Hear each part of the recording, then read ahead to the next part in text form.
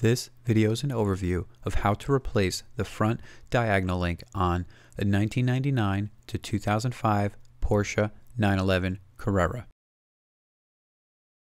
Remember to work safe and work smart. Work in a well ventilated area, protect yourself from injury at all times, and attempt all work at your own risk.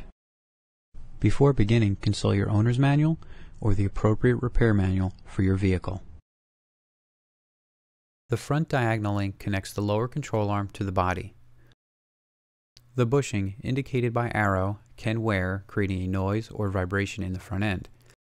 Using a flat blade screwdriver, unclip and remove air guide from front diagonal link.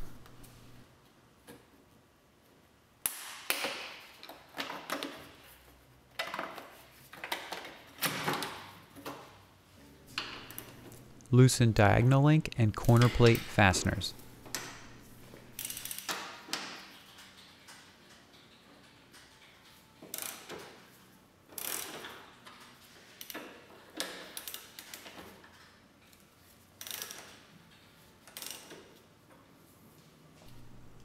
Working at front control arm and front diagonal link connection, counterhold nut while loosening bolt with ratchet.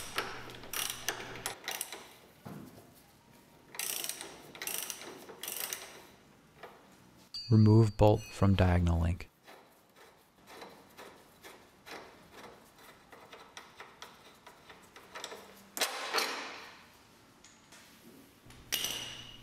Next, remove corner plate and front diagonal link fasteners.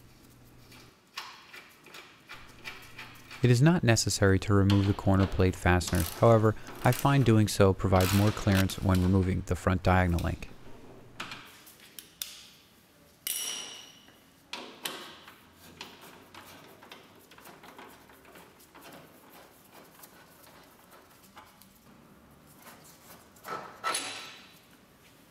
Once all fasteners have been removed, remove front diagonal link from vehicle.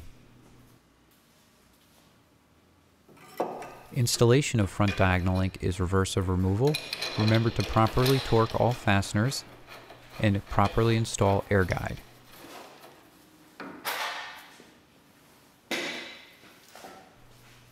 For more information on your Porsche 911 Carrera, including complete front suspension and rear suspension torque specs, see the Bentley Publishers Repair Manual available at bentleypublishers.com. Feedback or questions? Visit our online tech forums or our online technical library at bentleypublishers.com.